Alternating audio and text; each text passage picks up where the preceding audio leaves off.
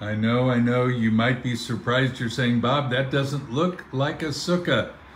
And you're right, you're right, because it rained overnight. It's raining again this morning.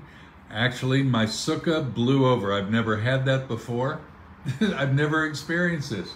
I mean, cinder blocks, 12 cinder blocks. How in the world could the wind, well, it was, it was that, was that strong last night. So it blew it down and I started to repair it this morning and then it rained on me. So I said, I'll do that in just a little while. I've got to get on Facebook Live. So we're going to read in the sukkah inside my house. It's right outside there. It's right there, but it's all right. So what do you do in the sukkah? You read and you eat. And some people sleep and some people watch television. I didn't take a TV out there. I, the only screen I have is this one that I'm talking to you on. And, uh, and no, I don't watch television on it. Now, it would be a test if the Kansas City Chiefs were playing and I had to watch and be in the sukkah, but I can negotiate time a little better with that. All right, so um, I just, I've, I've, been getting all kinds of comments from you, and I am really grateful for those um, to find out what you're hearing and what you're processing as we deal with Sukkot. Some of you are learning all kinds of facts about the Jewish holiday. Um, there was a quote that um, is in the book of Amos, the prophet Amos, and it's pretty remarkable in light of what happened to me overnight. And it's in chapter 9. It's quoted both here in the Older Testament and in the Newer Testament, which I find very interesting. It says, um, Amos, I love this. It's in verse 11. In that day I will raise up the fallen sukkah or booth of David and wall up its breaches. I will also raise up its ruins and rebuild it as in the days of old, that they may possess the remnant of Edom and all the nations who are called by my name, declares the Lord, who does this.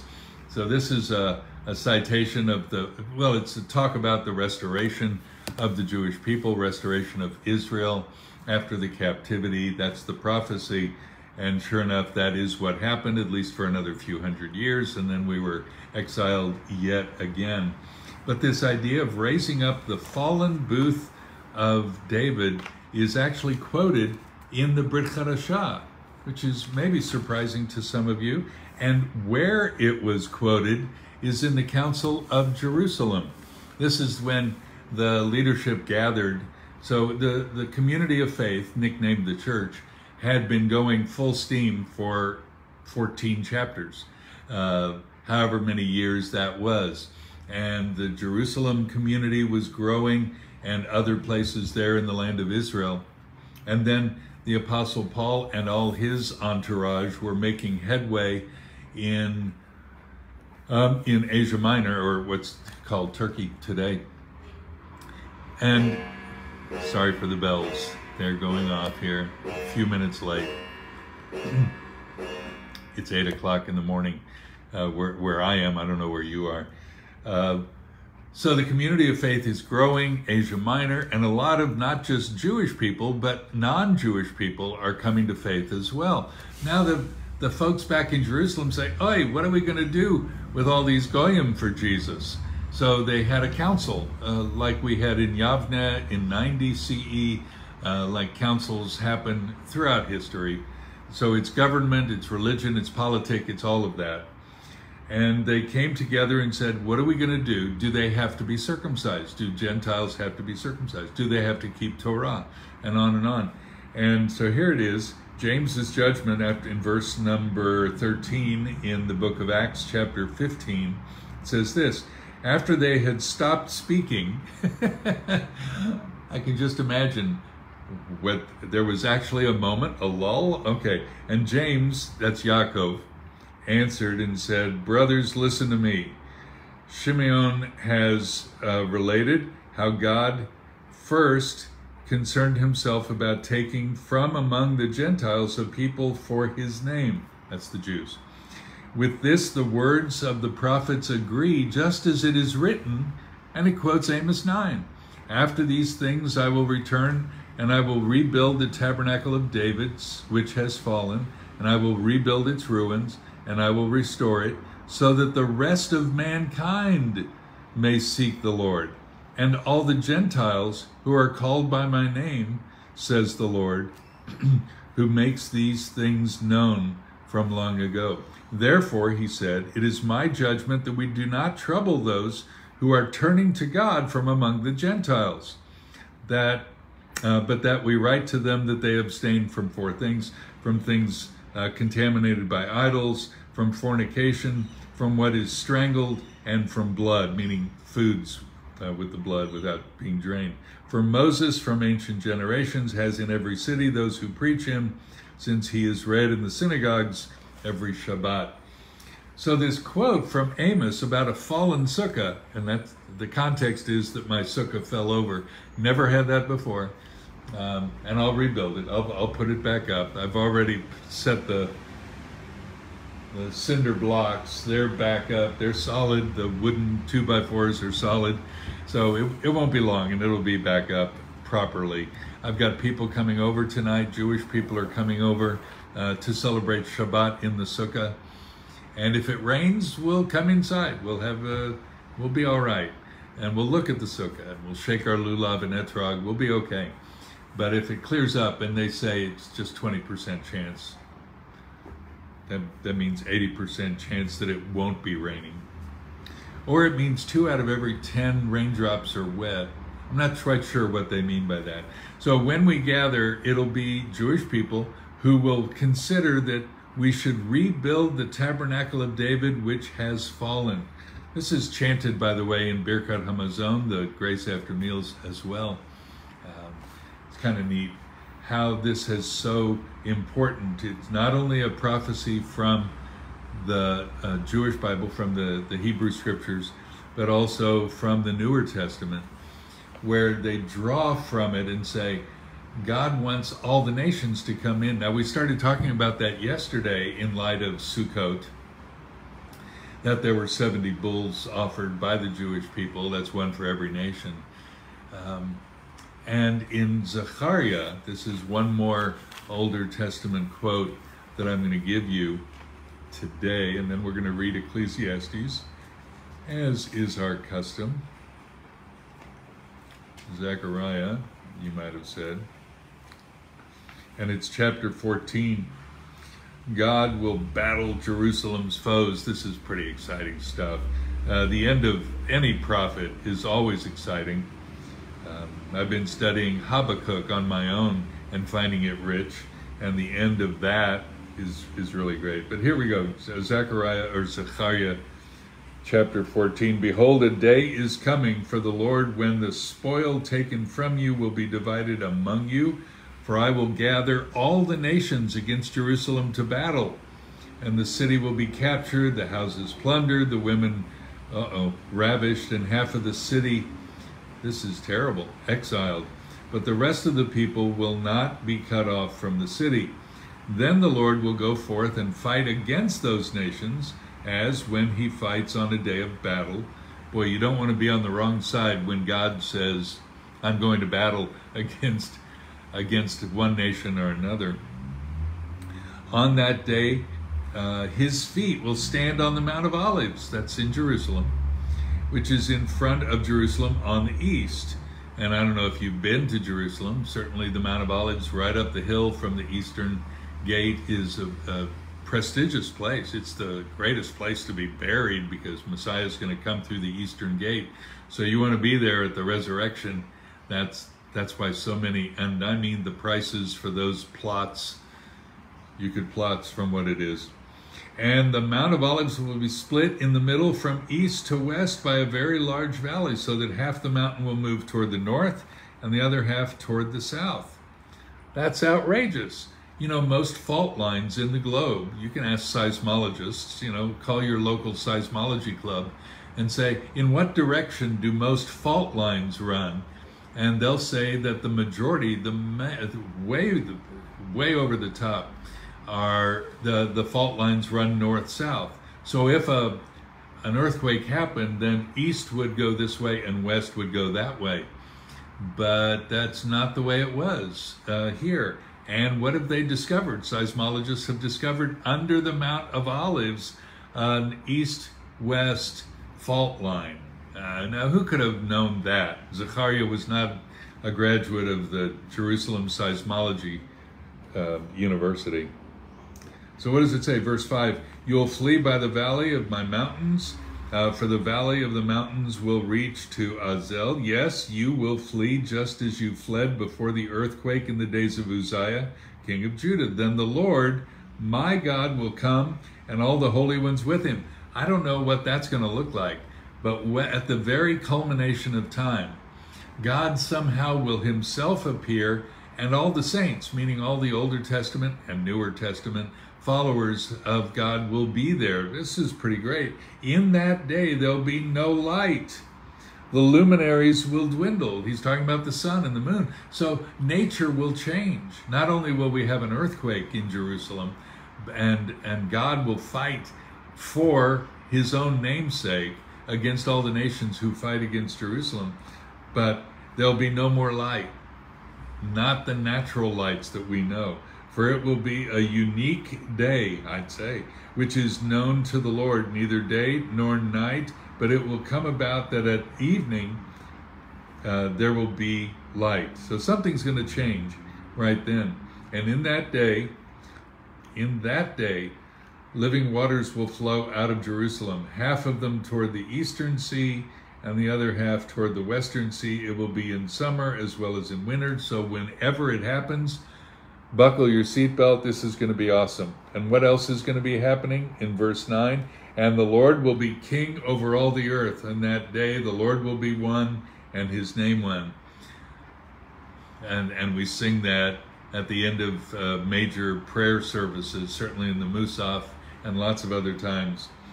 Uh, Adonai lemelech al kol haaretz bayom hahu yiyeh Adonai echad. Ushamo, Ushamo, Ushamo Echad. Yeah, it's going to be great. So there's lots more happening. But look at verse number, I mean, I could read more, but I want to get to Ecclesiastes. Uh, but look what it says in verse 16. Then it will come about that any who are left of all the nations that went against Jerusalem will go up from year to year to worship the King, the Lord of hosts and to celebrate the Feast of Booths. And it will be that whichever of the families of the earth does not go up to Jerusalem to worship the King, the Lord of hosts, there will be no rain on them. So there are consequences to not observing the Feast of Sukkot. By whom? By the nations of the world. So this isn't just, as we've been saying, this is not a holiday only for Jewish people. This is a holiday for anybody. It's a holiday for everybody because God has always wanted not religion. He doesn't. He's not concerned whether you build the sukkah and it doesn't fall over or it does. What He's always wanted is a relationship with you individually and then nationally. He wants people to know Him, to celebrate Him, to rejoice. This is called Zaman Simchatenu, the time of our rejoicing. So let me quickly read Ecclesiastes 5. and then we're going to call it a day because we've sure covered a lot of territory just because my sukkah fell over. Guard your steps as you go to the house of God and draw near to listen rather than to offer the sacrifice of fools, for they don't know that they're doing evil.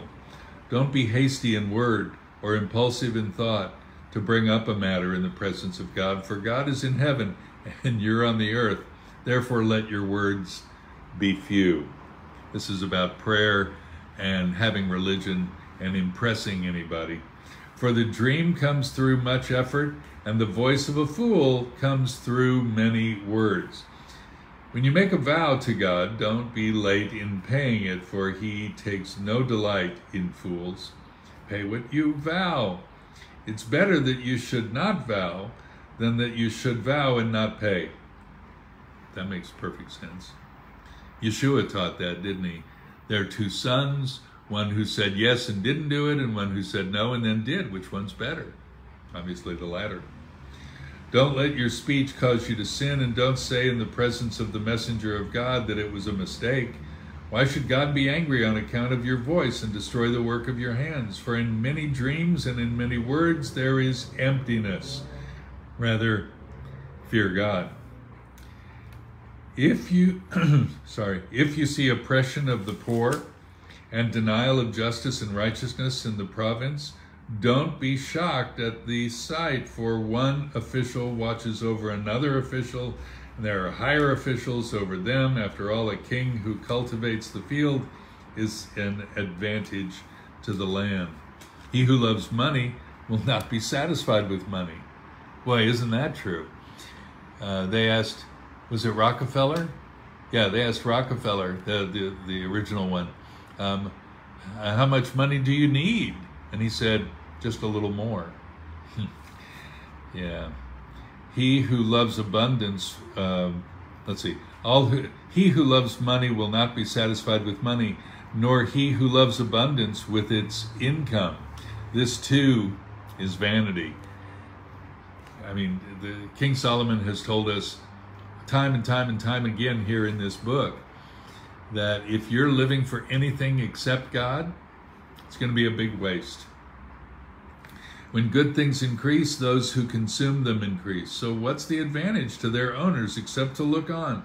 The sleep of the working man is pleasant, whether he eats little or much, but the full stomach of the rich man does not allow him to sleep. The more you have, the more you want. Solomon wrote in the Proverbs, riches makes itself wings and flies away. There is a grievous task. Oh, sorry. There is, here we go, verse 13. There's a grievous evil which I've seen under the sun. Remember that phrase, meaning in the natural or where God isn't. riches being hoarded by their owner to his hurt. When those riches were lost through a bad investment and he had fathered a son, then there was nothing to support him. As he had come naked from his mother's womb, so will he return as he came. There's that cycle of monotony of life, which he's pinged over and over again. So will he return as he came. He will take nothing from the fruit of his labor that he can carry in his hand. What do they say? There's no, uh, there's no uh, pickup. There's no. It's a caravan um, at the back of a hearse. This also is a grievous evil. Exactly as a man is born, thus will he die. So what's the advantage to him who call, who toils for the wind? Throughout his life, he also eats in darkness with great vexation, sickness, and anger. Your occupation is not going to satisfy you. Your riches are not going to satisfy you. Your all your trivial pursuits are just that. Hmm. There is what I have seen. Here is what I have seen to be good and fitting to eat and drink and enjoy oneself in all one's labor in which he toils under the sun during the few years of his life which God has given him, for this is his reward. If you're not going to live for God, eat, drink, and be merry. That's all you've got. Furthermore, as for every man to whom God has given riches and wealth, he has also empowered him to eat from them and to receive his reward and rejoice in his labor. This is the gift of God for he will not often consider the years of his life because God keeps him occupied with the gladness of his heart. That's chapter 5 of the book of Ecclesiastes. That's what we do. We what do you do on on Sukkot? We build this thing, we eat in the thing, we read in the thing, some sleep in there, and mostly we remember God and the vanity of life, the impermanence of life what are you remembering today? Put your comments, please, in the in the video, uh, under the video there on Facebook, and I will be happy to read those, and you can comment on each other's comments. That's a good way to go. I wish you a, a, a Shabbat Shalom. Tonight begins uh, day six of Sukkot, and it's also Shabbat. You always have at least one Shabbat on Feast of Tabernacles. Tonight is ours, and um, it's going to be a joy we're gathering. We're going to have a couple uh, Jewish ladies baptized this afternoon later, and then we'll gather here at the house and celebrate what God has done in us and maybe even through us. All right, shalom.